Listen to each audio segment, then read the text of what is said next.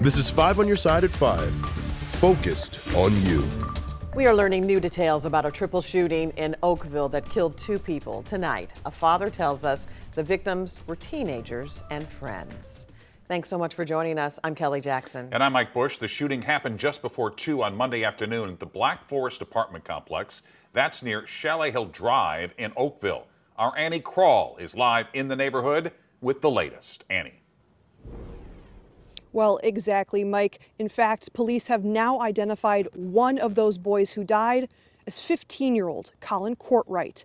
In fact, he passed away on the scene just behind me. But now police are also telling us tonight they have three suspects in custody who are in connection to this shooting.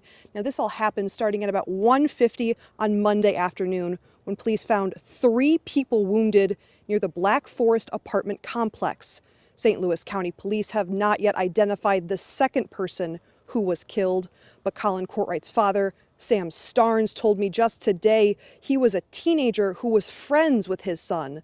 Starnes says he lives with his son in Lee We, he left for the casino Monday for just a few hours, and Colin asked if he could have a friend over. Starnes saying, sure. He's not sure, though, why they went to the Black Forest apartments, and he's still trying to wrap his head around losing his son. He just he's he's got so much family and you know there's so many friends that that love him and you know I, I just don't believe you know I till right now we're, we're sitting there talking I don't believe it you know it's like I'm sleeping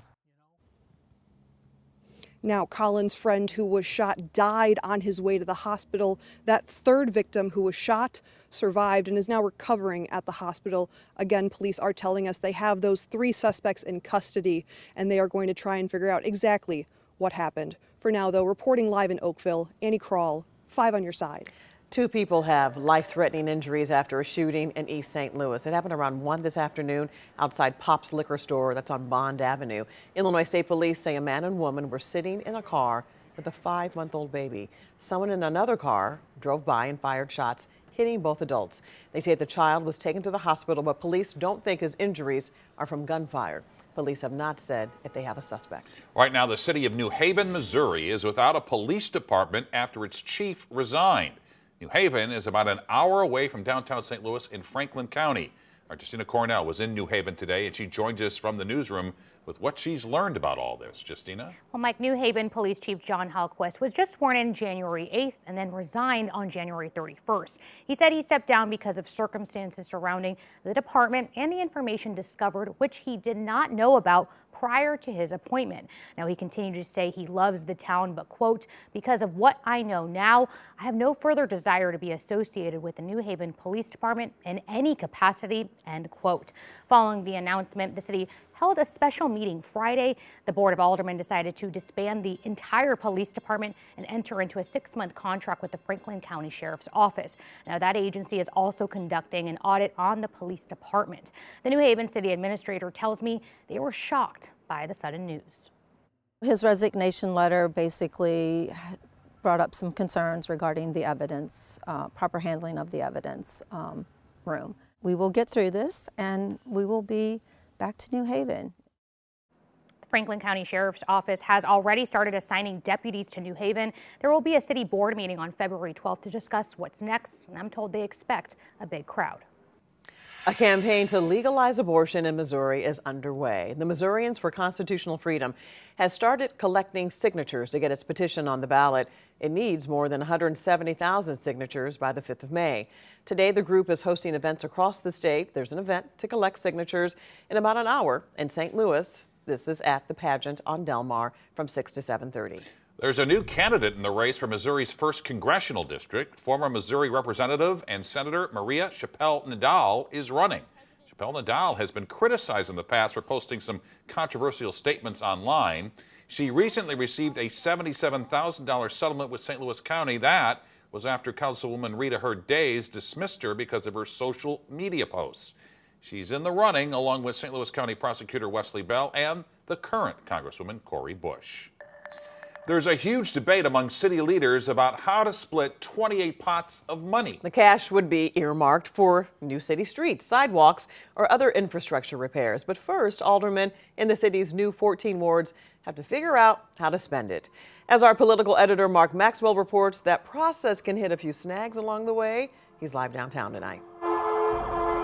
Yeah, Kelly and Mike, I'll give you one example. 20 years ago, these ward capital funds sat dormant for so long they accrued more than $3.5 million in interest alone. Now, the city is dividing up all that old money plus interest and the new funds that go out every year to each of these new wards. But the old systems, the old problems in the system, still bog down a city that has a long list of deferred maintenance.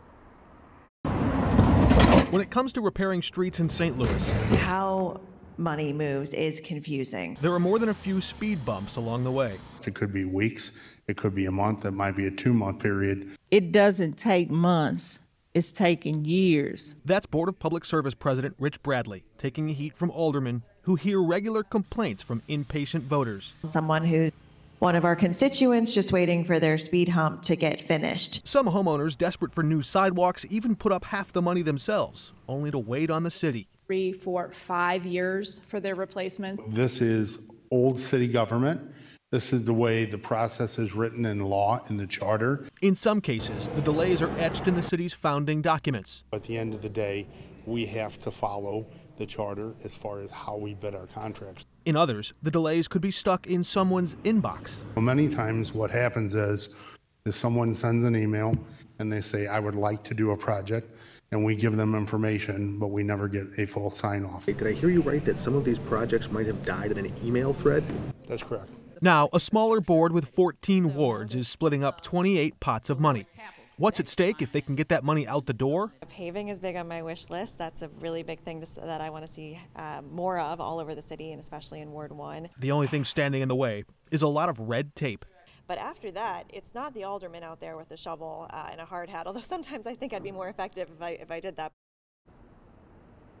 And some of the frustrations that often hold many of these projects back, the red tape, if you call it, are for good reasons. Like you want the competitive bidding process so you can get the lowest bid, or you want to make sure that you're not just putting uh, concrete in a pothole now, only to have a big project to fix the street later on down the road. Live downtown, Mark Maxwell, five on your side. St. Louisans have weighed in on how the city should spend money from the Ram settlement. The top choice was to replace water mains in the city. Second pick, redesign St. Louis streets. People also want to see a pay raise for city workers and free or subsidized child care. $280 million is going to the city. 30 million will be used to expand the Dome and America Center. This spring, the Board of Aldermen will decide which changes are possible and how much they would cost. Backing away from a bipartisan deal, why Democrats say Republicans no longer support the border bill. Looking to save big. Which products Consumer Reports says are on sale this month? And looking at the sky now in Arnold, a little bit of cloud cover streaming in. Uh, 141 and 55 looking really good. Started out this morning in the 20s and we made it almost to 60. More on our forecast coming up.